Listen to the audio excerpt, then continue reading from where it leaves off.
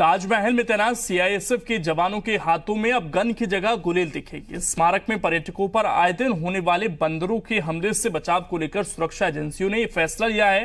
चौदह जवानों को पर्यटकों की सुरक्षा के लिए गुलेल चलाने की ट्रेनिंग भी दी गई है। ताजमहल पर सैलानियों का सामना झपटने को बंदर हमेशा से उतारू दिखाई देते हैं, ऐसे में ये कदम अब उठाया गया ताज परिसर में जवानों के हाथों में गुलेल। बंदरों का बढ़ा आतंक। जवानों ने थामी गुलेल। गुलेल से पर्यटकों को बंदरों से बचाएँगे जवान।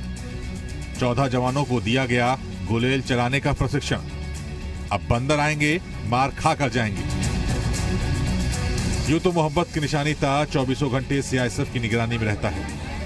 सीआईएसएफ के 160 जवान अत्याधुनिक हथियारों के साथ यहाँ तैनात रहते हैं। लेकिन इस बीच बंदरों के बढ़े आतंक ने नई परेशानी खड़ी कर दी है। पिछले एक महीने में बंदरों के हमले से 16 पर्यटक घायल हो चुके हैं, जिससे निपटने के लिए सीआईएसएफ ने नया तरीका निकाला है।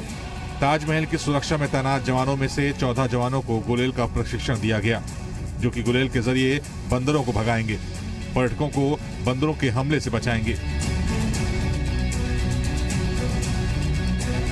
प्रशिक्षित जवानों को मुख्य स्मारक समेत अलग अलग चौदह स्थानों पर तैनात किया गया है।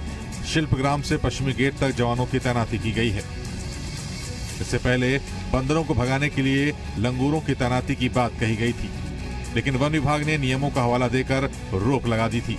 इसके बाद सीआईएसएफ की ओर से पर्यटकों की सुरक्षा को ध्यान में रखते हुए ये कदम अब उठाया गया है।